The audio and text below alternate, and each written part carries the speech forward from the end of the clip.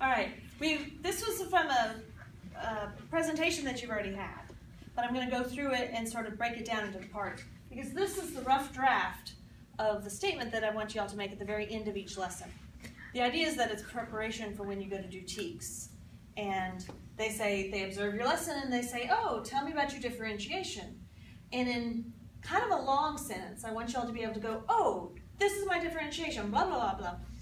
And so there's, like I said, it's really a sentence, but it's sort of a run-on sentence. Because I know that some data. You've got some pre-assessment data. You've got the scores of kids because you've got benchmark scores, because you had ticket out the door the day before, something that tells you about how you're going to group your kids, right? Because I know that, I have my kids based on readiness. And student factors. I'm not going to put this kid with that kid, or I'm not going to put, um, this kid is really fascinated with cars, and so I wanted them in that group. So you're going to look at the individual kids too, just their characteristics and personalities and interests. So because I know this data and I know my kids, I differentiated the following lesson by aligning, and this is where we're going to start getting into the details. Okay?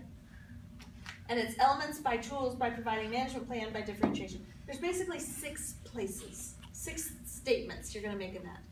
The first one is the pre-assessment data. The second one is the, is the uh, student factors. You said this was online? Yeah, this one is straight off the. It's it's on D2L? It's on D2L. It's been on D2L actually. Yeah, I forgot, one of mine. Okay, So it's the differentiate. It's called differentiated instruction, okay. and I think this picks up with like slide three. So I'm not going to focus a whole lot on these two because those are things you already have. When when I talk about pre-assessment data, what kinds of information do y'all have? Go in knowing their benchmark scores, their, I might know their, um, Georgia milestone scores. Sure. You might know their milestone scores, but you're going to know their reading level. You're going to know their benchmark scores. You're going to know how they did on the last pre-test. You're going to know how they did on the unit test right beforehand. So you can say, however you choose to group them by readiness, but basically you look at all your kids. It's really, really helpful if you have your kids listed in Excel.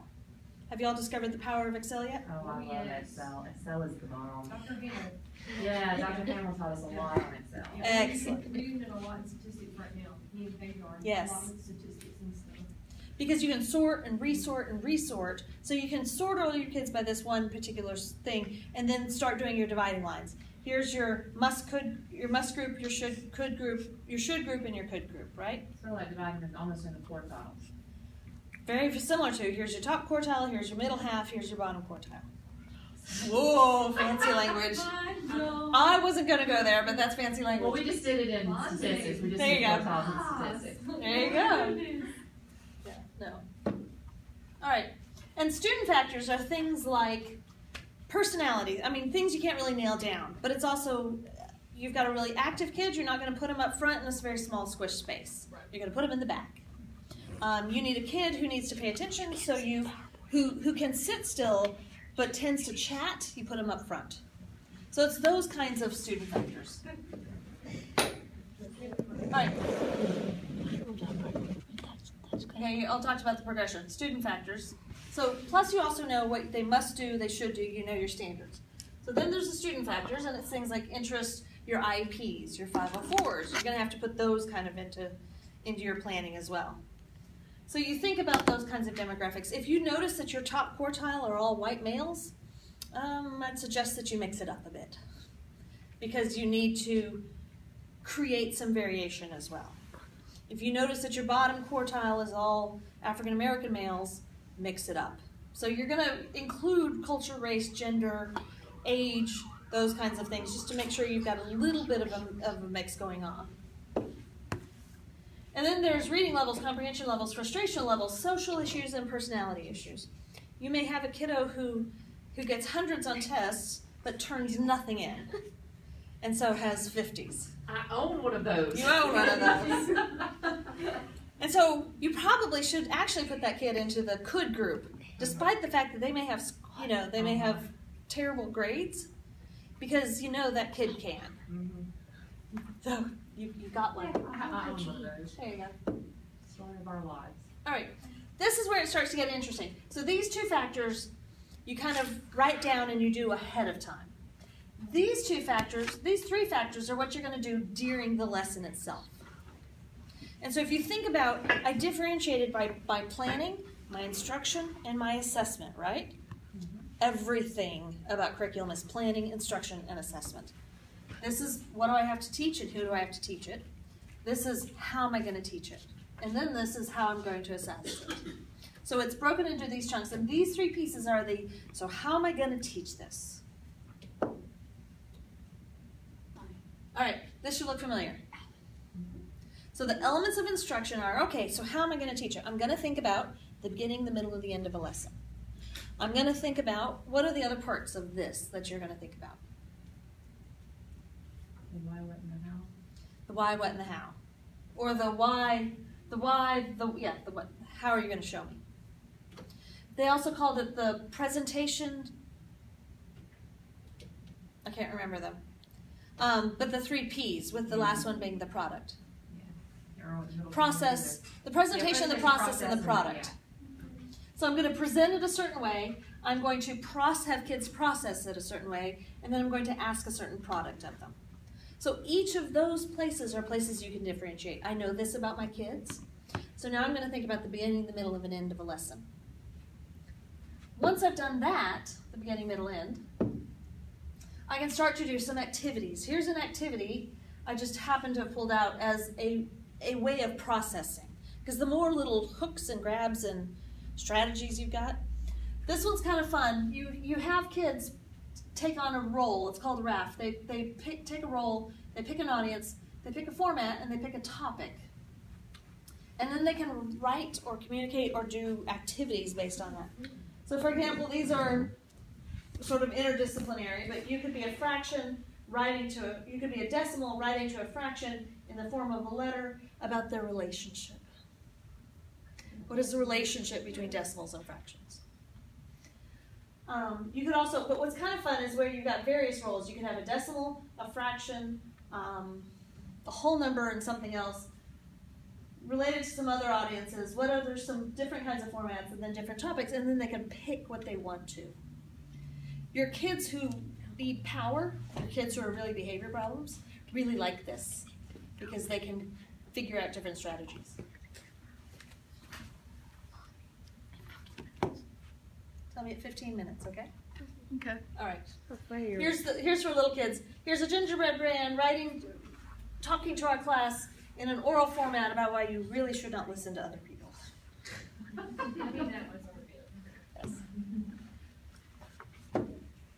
Um, in that beginning, middle, and end, making sure that they make connections, making sure that there's literacy, making sure that there's other interdisciplinary connections somewhere in those parts, including technology.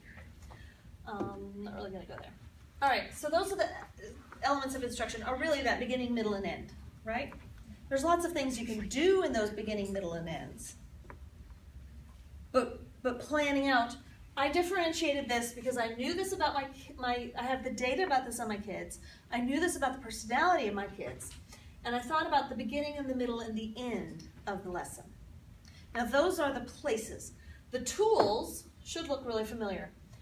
All right, so I differentiated by I different, I did it because I differentiated it in the place, the beginning, the middle, and I did it using any of these four tools. Now, we really only talked about these first two. These bottom two you aren't as familiar with. You will be a little bit more after some of the activities online. Bloom's taxonomy. So you can use Bloom's taxonomy. So, and some of y'all saw that on the tic-tac-toe sheets, right? Mm-hmm. I use Bloom's taxonomy to differentiate by having some low-level activities, some mid-level activities, and some higher-order thinking skills. Um, I required some kids that they had to do some higher order thinking skills, others were allowed to build up to it. so, Bloom is a tool by which you can give choices in different levels of activities. So, again, if you're still thinking about the tiering, you've got, you might have low level, mid level, and higher order thinking skills. And if your and if your principal ever says, "No, I don't want you to limit these kids," the, the option, the, what you say is, yes, but I asked these questions also. They were available to other, to kids. Some kids, so I may say, Amy, this question's for you, and it's a higher order thinking question, because I know that that's where you're targeted. I differentiated my lesson because I'm aiming a higher order thinking question at you. Then I may open it up to anybody who wants it. Then I may follow up with a low level question for Paige because Paige is going, huh? And so I'll make sure I bring you in. So your principal says, How'd you differentiate? And you say, Well, at the beginning of the lesson, I differentiate. I knew this about my kids, I knew their personality, and at the beginning of the lesson, I differentiated by asking mid level questions, higher order questions, and upper level questions, as you can see by my questions here in my lesson plan. Do you see how that was a tool that you can use mm-hmm. in the beginning of the lesson? You can also use the progression of standards, sequencing of standards. What, what did I call those? What do, what do we call them in yours? Spirals or must, Should. goods. That's the progression of standards. I'm using the, the foundation, the standards to build upon. You can use them both at the same time. You can do one at a time. And so you can say, yes, I differentiated because in the middle of the lesson, I had activities for my low students to do that they must be able to do, and so we repeated the same concept three times. I had activities for my that they should be able to do that are based on the standards, and then I had activities that they could be able to do, all of which are based on grade level standards. We're just basing on the foundation of the standards, in the middle of the standard, and at the upper end of the standard, where the standard might be able to take you. So the idea is that the standards build up. These are tools. You can say, I used Bloom and I used this progression of standards. Or you can say, oh, I used the sequence of standards, progression of standards. I'm calling it progression of standards. Your principal will have no idea what that means. Because we haven't trained a lot of principals yet in this program. But when your principal says, huh? You say, I taught at the bottom, of, I taught the base of the standard, I taught the middle of the standard, and I talked about where the standard could go. So you taught the full standard. I'm trying to protect y'all because I don't want y'all to be saying, well, I'm not teaching the standard. Yes, you are. You're teaching the standard that prepares them for that standard, right? You know how we talked about that? Mm-hmm. All right. You can also use blooms, and I saw some of y'all using this when you were looking for activities. Me and Sarah did. Yeah. Yes, I saw y'all using them. This is an is a is a fabulous one. One of my favorites is this one. Do you have this one? Have you seen this one? You can't read it on this slide because it's terrible. That's what she put up online. It was, Okay. It, it broke it down, it seemed like more. It- Yes. Yeah. And what this one does, if you say, okay, I'm going to differentiate it by Bloom's taxonomy. Mm-hmm. I'm going to take the standard and it's whatever the standard is. Students will be able to something. The standard itself is going to be at a certain level of Bloom's. So let's say the standard it's it's over here at application. And so students will be able to I can't read all this.